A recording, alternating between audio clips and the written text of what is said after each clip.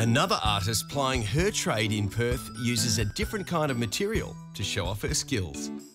Now, I'm a chocolatier, Okay. not a chocolate maker. So what Now, I what do... is a chocolatier, by the way? Now, chocolatiers, what we do is we we buy chocolate, melt it, and make stuff out of it. We'll, we'll just do it, shall we? So, All right. Let's do it. The technique used by Sue to concoct her creations is known as tempering. The chocolate is initially melted, then cooled and mixed until it reaches the desired temperature. It's then placed into moulds, put in the fridge, and left to harden.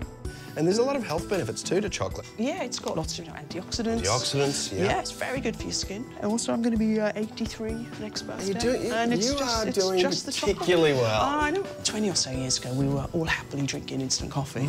Now, you know, we Oh. no, no, No. no, no, we know exactly rarely where our beans come from. And, you know, chocolate, same thing. And I think people will get more and more interested in, in fine chocolate.